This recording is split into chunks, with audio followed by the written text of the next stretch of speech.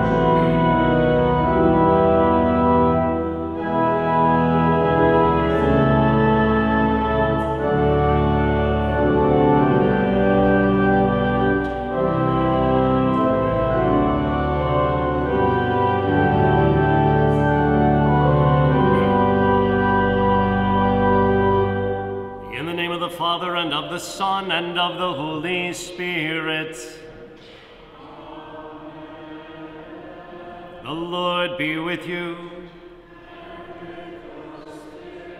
My dear friends, let us call to mind our sin, and so prepare ourselves to celebrate the sacred mystery. Lord, have mercy.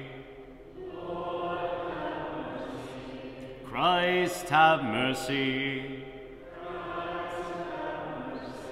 Lord have mercy. May Almighty God have mercy on us and forgive us our sin and bring us to everlasting life. Amen.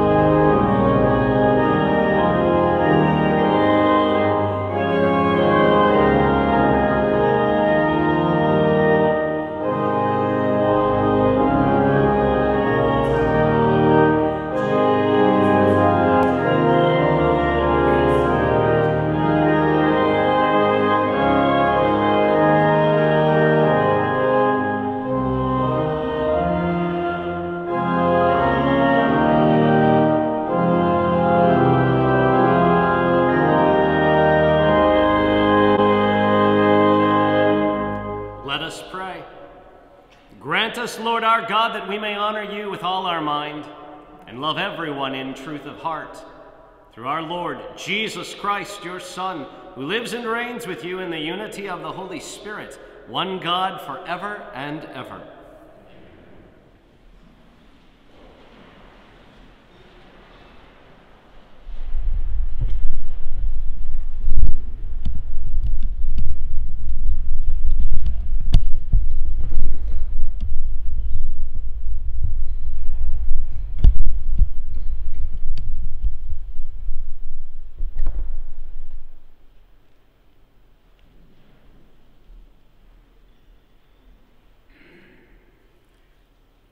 A reading from the book of the prophet Jeremiah.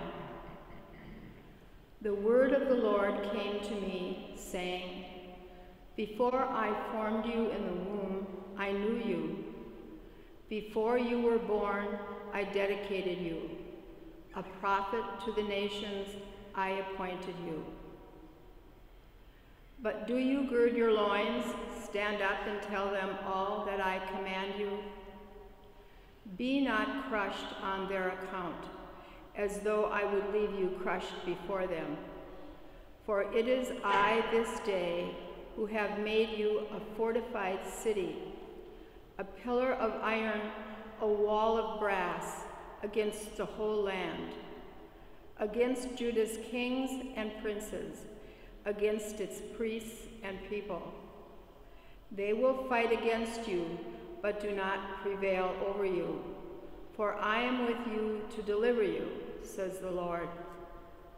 The word of the Lord.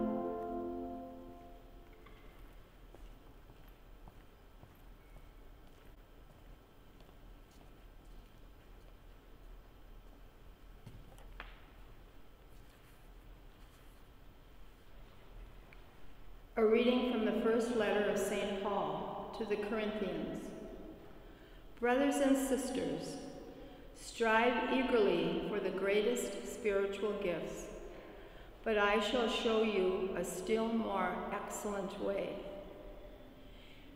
If I speak in human and angelic tongues, but do not have love, I am a resounding gong or a clashing cymbal.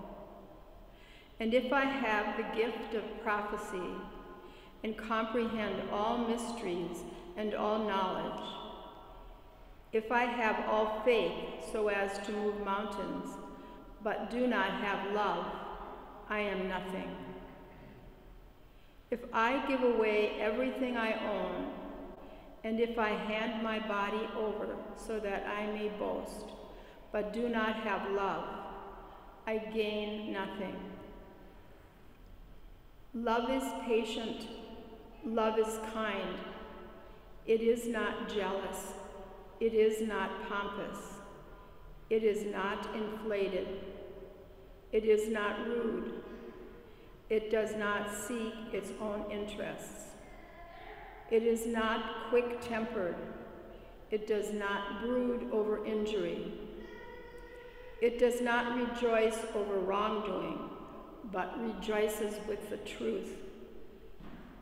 It bears all things, believes all things, hopes all things, endures all things. Love never fails. If there are prophecies, they will be brought to nothing. If tongues, they will cease. If knowledge, it will be brought to nothing. For we know partially and we prophesy partially. But when the perfect comes, the partial will pass away. When I was a child, I used to talk as a child, think as a child, reason as a child. When I became a man, I put aside childish things. At present, we see indistinctly as in a mirror, but then face to face. At present, I know partially.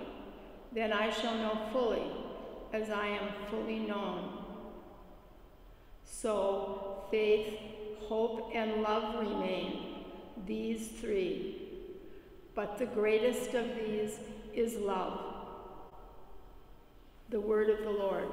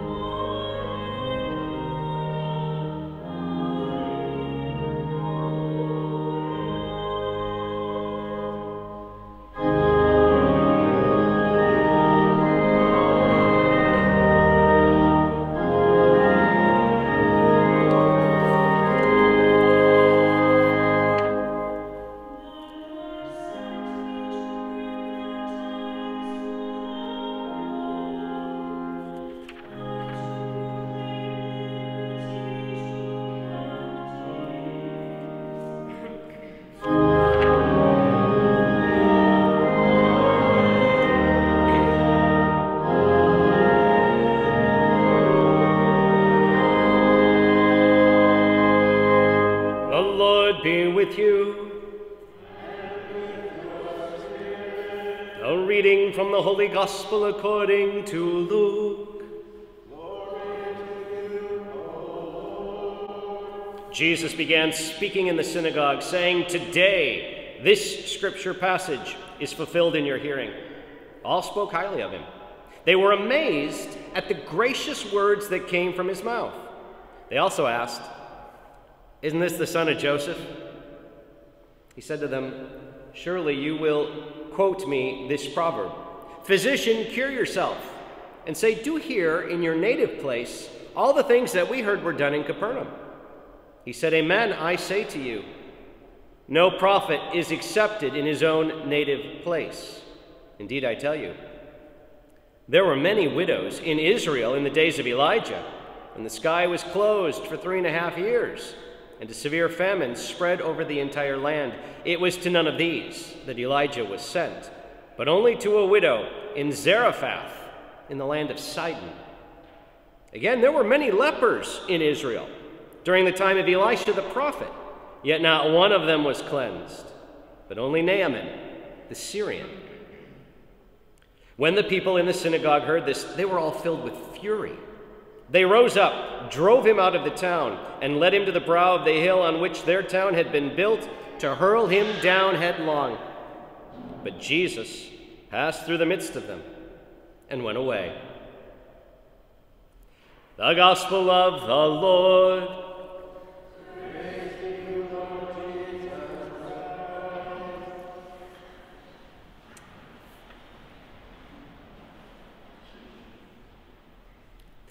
St. Paul spent about a year and a half preaching and teaching in Corinth as part of his ministry. He knew these people. He was heavily invested in their lives. He gave everything to them. But now he's got a problem. He's not there right now. He's writing them a letter because word has gotten back to him that there are all sorts of divisions that are tearing the community apart. And these divisions are at such an extreme that Paul's got to intervene. He's compelled. Now, last week, we heard out of chapter 12 of the first letter to the Corinthians his great image about how you bring unity out of diversity. And his example, you might recall, was the body. He said, just like the body has all of these different parts, they're all different. They have to work together for the body to flourish. He says, what's true for the body is true for the body of Christ. We need each other. And we need to work together. And when we unite, when we bring all of our different resources together, cooperating, collaborating, connecting, communicating in a way that we support and help each other, we flourish. Now he takes it to this reading we have today. Now I got to tell you, I grew up with this reading. I, I come from a big, loud, noisy Italian family, and when I was a kid, I hit, I don't know how many weddings in 10 years, and we always heard this reading in weddings. I, I thought it was literally the church's wedding reading. Because it's all about love, right? Well, the interesting thing is, it's a beautiful reading. I'm glad we use it for weddings. But this is not a reading for weddings. This is a reading intended for people to have the fundamental principle of faith that drives everything we do, and that's love that Paul is trying to point out if the body's got to work together, if the body of Christ is going to work together, then the motivation has to be the love of Christ. The love of God is absolutely essential for everything. And if that's missing, then I'm a resounding gong and a clanging cymbal. Love is the absolutely essential ingredient in the Christian life. All right, well, that's great, but now we need a working definition because we throw the word love around all the time. And we're not talking here about some warm, fuzzy feeling. Classic definition for love is to love someone means I want what's best for that person. And my words, my actions are going to be about building that person up and helping that person to the best of their capacity. That means that sometimes, because I love somebody, I'm going to do something I don't like and they might not like. Think about what parents do for their kids, or what kids might have to do for their aging parents. When we love, we seek what's best. But love then becomes the way in which we can evaluate our own lives in a very profound way by both looking within and then looking without. By checking that hidden part of us to see, am I living the love of Christ? and then to look out and say, Am I putting it into practice? Now, think about this. First, let's talk about the inside our thoughts, our motivations, our intentions. We can take this reading that Paul gives us in 1 Corinthians and we can say, okay, look, the part that nobody sees, the thoughts going through my head, are they loving? The reason why I get up in the morning and do what I do, the motivations, my intentions, are they motivated by love or something else? Because some of that's hidden, right? but we know it. And we can ask the powerful, sometimes awkward, but always valuable question Is the love of Christ flourishing on the inside in my soul? And am I thinking about, intending, and striving to put that love into every aspect of my life? Okay, that's on the inside. But then we can translate it to the outside. Our words, our actions, our relationships. Things that people can see, things that literally you can go through the day and go, okay, what did I actually say here? What did I actually do here? Was the love of God present in the word and in the action? Because if it's not, now I got work to do.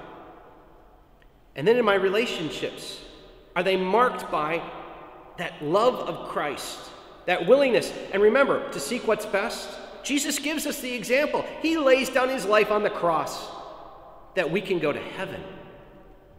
God so loved the world that Jesus gives us this model of what it means to offer one's life. Why? Because we want what's best for the beloved.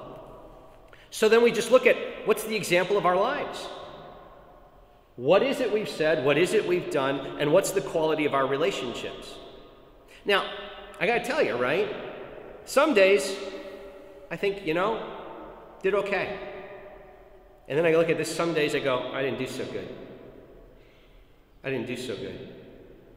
And how do we evaluate that? How do we get to the heart of that? How do we know? And Paul gives us that. There's a real simple way you can use this reading as a gut check. Instead of the word love for part of this passage, put your name. I'll do the demo, but I'll just do it in a generic way by the pronoun I. I am patient. I am kind. I'm not jealous. I'm not pompous. I'm not inflated. I am not rude. I don't seek my own interests. I'm not quick tempered. I don't brood over injury. I don't rejoice over wrongdoing. I rejoice with the truth. I bear all things, believe all things, I hope all things, and I endure all things. Why? Because the love of Christ never fails. That becomes our litmus test. It's a very powerful way to very quickly get a handle on is the love of Christ growing in my heart? Now, if it's not, if it's been a bad day, this is where we go directly to the cross of Jesus.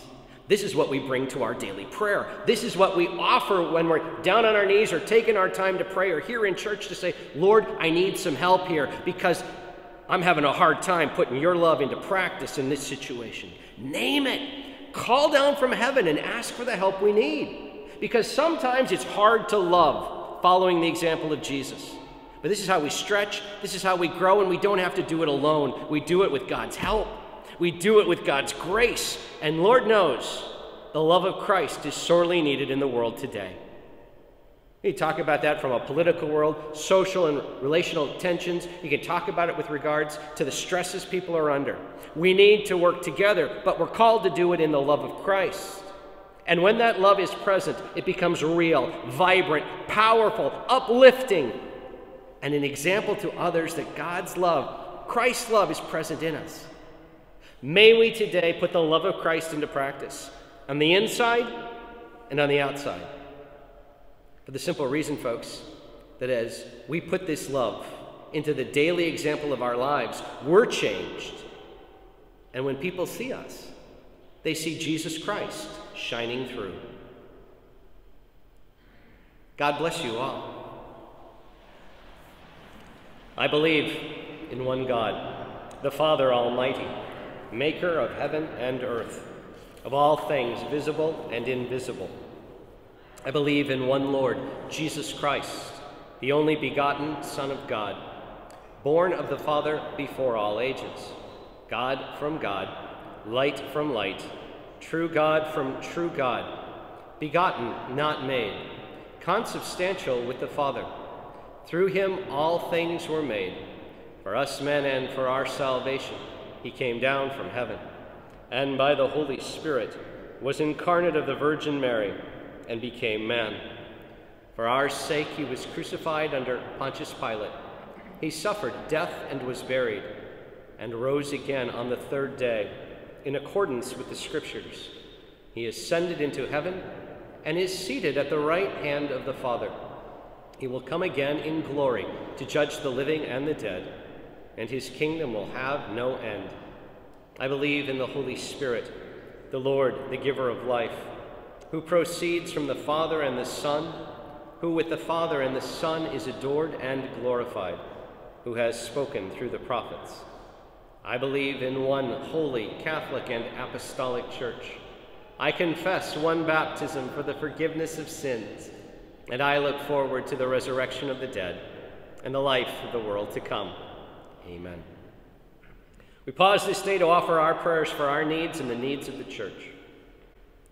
That the church will stand before the world without stain or blemish, holy and obedient to God's word. We pray to the Lord. For an end to terrorism in the world, and for the healing of all hatreds and divisions, we pray to the Lord. For the poor and the sick, the homeless, and those who go hungry, lonely, or unemployed, that the mercy of God will raise them up, we pray to the Lord. That our parish communities will grow in faith, hope, and love, we pray to the Lord. For the repose of the souls of all the faithful departed, especially in our own families, within our parish communities, that the Lord will welcome them into the joys of heaven. We pray to the Lord. That the Holy Spirit will guide the preparations for the World Synod. We pray to the Lord. For an end to COVID 19 and the pandemic, we pray to the Lord. For the intention of this Mass, the health and well being of Jeff Postles and Val Taylor, we pray to the Lord. Finally, for all of you at home, for the prayers that you offer in the comment line, for all of us, for the prayers we now offer in silence.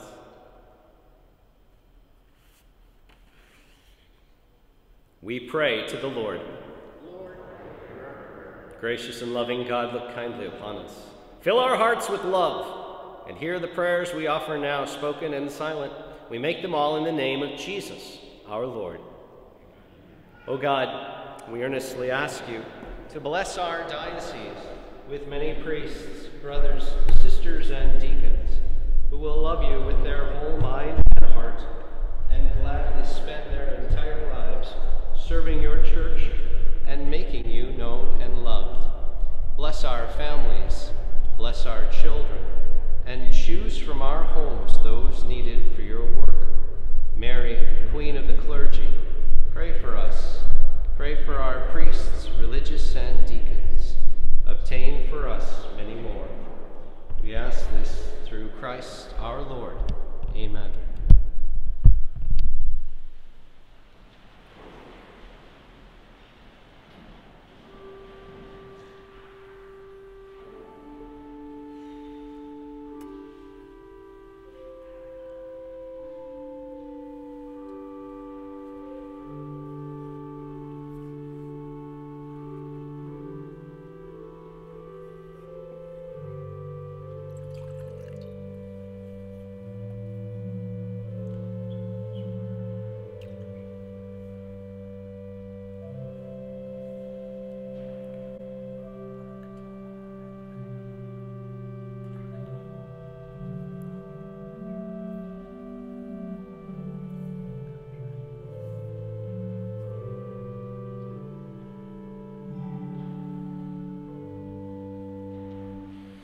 Pray, sisters and brothers, that my sacrifice and yours may be acceptable to God, our loving Father.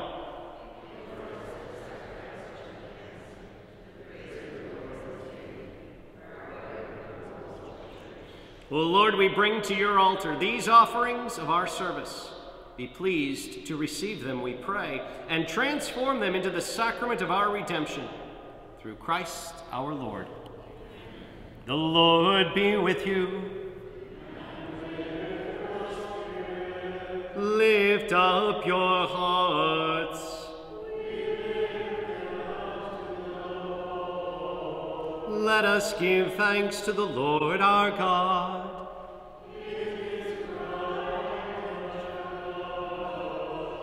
It is truly right and just, our duty and our salvation, always and everywhere to give you thanks, Lord, Holy Father, Almighty and eternal God, through Christ our Lord. For through his paschal mystery, he accomplished the marvelous deed by which he has freed us from the yoke of sin and death, summoning us to the glory of being now called a chosen race, a royal priesthood, a holy nation, a people for your own possession, to proclaim everywhere your mighty works. For you have called us out of darkness into your own wonderful light. And so, with angels and archangels, with thrones and dominions, and with all the hosts and powers of heaven, we sing the hymn of your glory as without end we acclaim.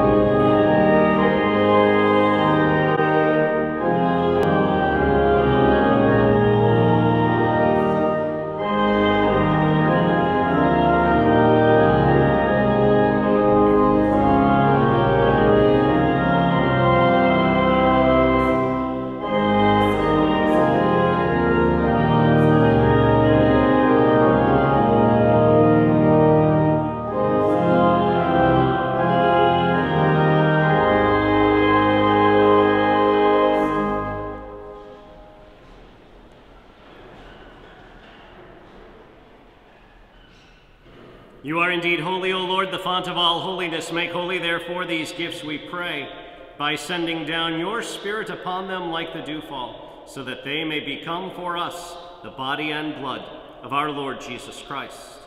At the time he was betrayed and entered willingly into his passion, he took bread, and giving thanks, he broke it, and gave it to his disciples, saying, Take this, all of you, and eat of it, for this is my body, which will be given up for you.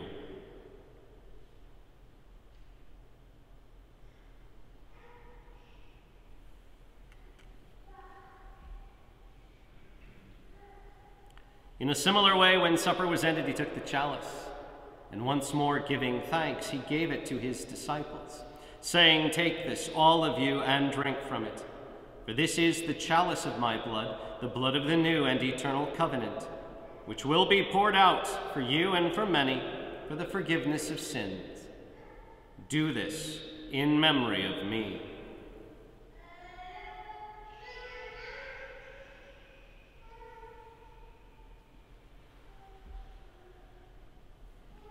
The mystery of faith.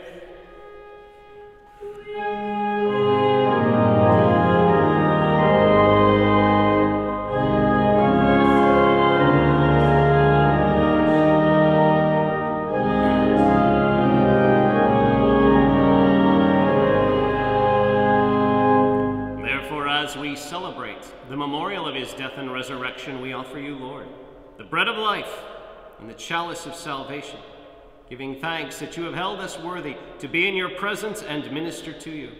Humbly we pray that partaking of the body and blood of Christ, we may be gathered into one by the Holy Spirit. Remember, Lord, your church spread throughout the world. Bring her to the fullness of charity, together with Francis our Pope, James our Bishop, and all the clergy. Remember also our brothers and sisters who have fallen asleep in the hope of the resurrection, and all who have died in your mercy. Welcome them into the light of your face. Have mercy on us all, we pray, that with the Blessed Virgin Mary, Mother of God, with blessed Joseph, her spouse, with the blessed apostles and all the saints who have pleased you throughout the ages, we may merit to be co-heirs to eternal life and may praise and glorify you through your Son, Jesus Christ. Through him and with him and in him, O God Almighty Father, in the unity of the Holy Spirit, all glory and honor is yours forever and ever.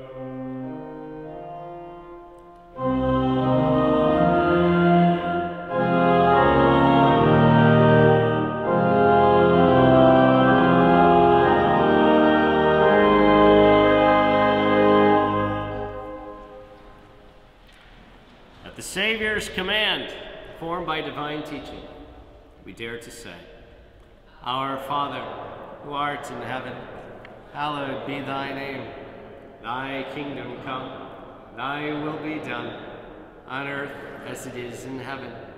Give us this day our daily bread, and forgive us our trespasses, as we forgive those who trespass against us.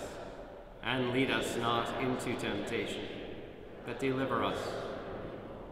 Deliver us, Lord, we pray, from every evil. Graciously grant peace in our days, that by the help of your mercy we may be always free from sin, and safe from all distress and useless worry, as we await the blessed hope and the coming of our Savior, Jesus Christ.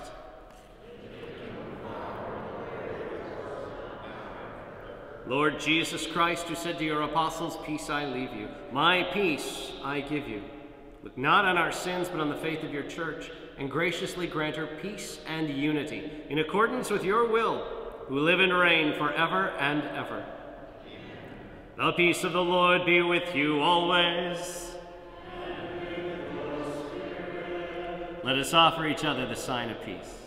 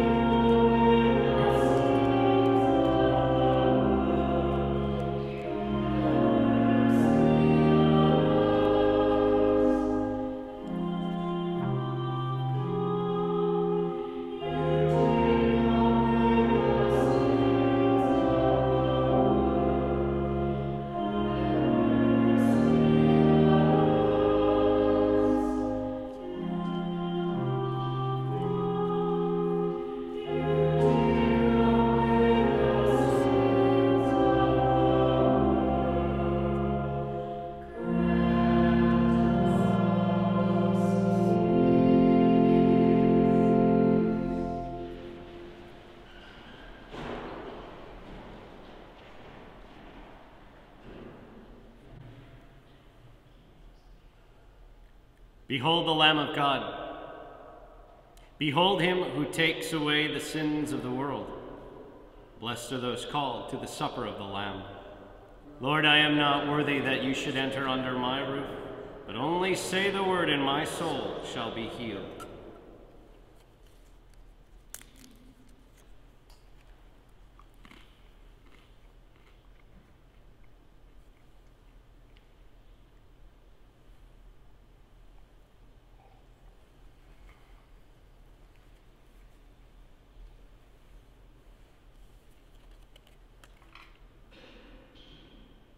My Jesus, I believe that you are present in the most holy sacrament.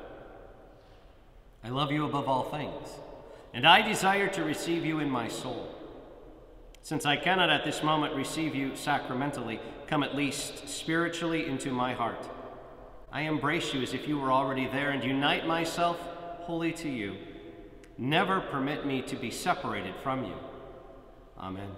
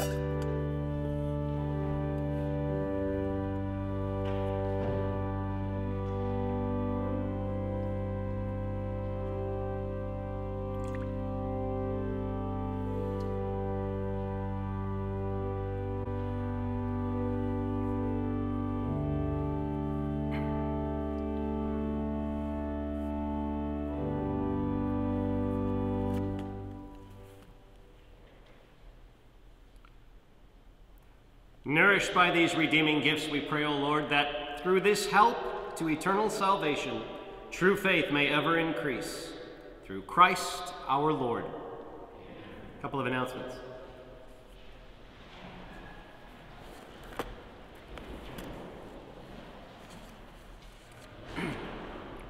now, we've been praying the World Synod prayer, we've been including it in the prayers of the faithful for several weeks now. Part of the process for the World Synod is that, get this, Pope Francis wants to hear from all of you. He's really looking to go to the far corners of the earth and hear from people about what are some of the burning issues with regards to faith and where are they coming from in their perspective of Jesus Christ. We got a lot of different voices out there in the world and we got a lot of different competing messages. But the Pope wants to just open all the doors and let people voice what's going on in their hearts. To that end, our diocese, like every diocese around the world, is, is soliciting input from people. And we've got two different ways to do this.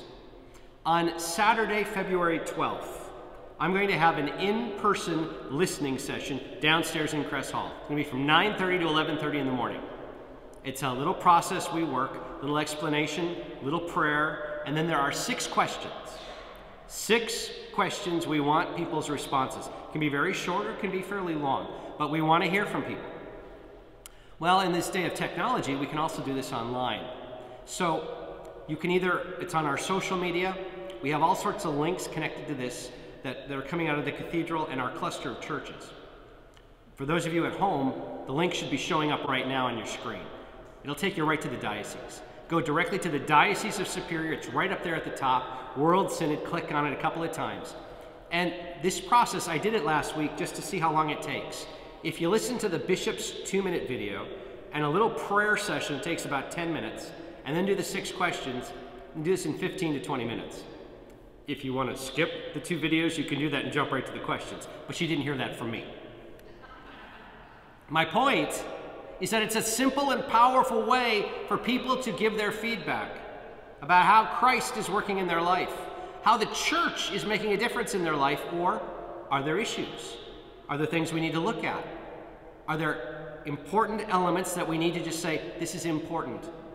We should talk about this. We should look at this. We should fix this. We should address this. We want to hear from people. We want to hear from folks, not just the folks who are here, but the folks who don't come, or the folks who haven't been able to come, or the folks who maybe have something to say. Maybe, maybe there's something that's really bothering them. We want to hear it all. So you can either come to the listening session on February 12th, Saturday in the morning, downstairs Kress Hall. That'll be in person. Or go online. We certainly want to encourage people to do that. It's a powerful, simple, and easy way to make it happen, and you can do it on your schedule. All right, Catholic Schools Week kicks off today, and certainly want to celebrate our own cathedral school and all Catholic schools and the impact that they make in the lives of our kids. The Cathedral School Open House will be on Monday, February 7th from 5 to 6.30 p.m. There'll be information, all sorts of things coming out with that. The World Synod Prayer. We stand before you, Holy Spirit, as we gather together in your name, with you alone to guide us. Make yourself at home in our hearts. Teach us the way we must go and how we are to pursue it. We are weak and sinful. Do not let us promote disorder. Do not let ignorance lead us down the wrong path, nor partiality influence our actions. Let us find in you our unity, so that we may journey together to eternal life and not stray from the way of truth and what is right. All this we ask of you, who are at work in every place and time, in the communion of the Father and the Son, forever and ever. Amen. For those of you at home, please keep sharing these masses on Facebook. And certainly to all, I, I pray that we continue to keep moving forward in a good direction. Please, God, these numbers are coming down now. They're still high, too high, but they're moving in the right direction. We pray for everybody who's affected by the pandemic. We pray for everybody in healthcare and for all those whose lives have been so disrupted. May it continue to move in the right path, in the right direction. One funeral announcement. Last Friday, there was a funeral for Barbara Tomzak and that was at St. Anthony in Superior, for the repose of the soul of Barbara Tomzak. Hail Mary, full of grace, the Lord is with thee. Blessed art thou among women, and blessed is the fruit of thy womb, Jesus. Holy Mary, Mother of God, pray for us sinners, now and at the hour of our death. Amen. Eternal rest grant unto her, O Lord. May she rest in peace. May her soul and the souls of all the faithful departed, through the mercy of God, rest in peace. The Lord be with you. May Almighty God bless you, the Father and the Son and the Holy Spirit. Go in peace.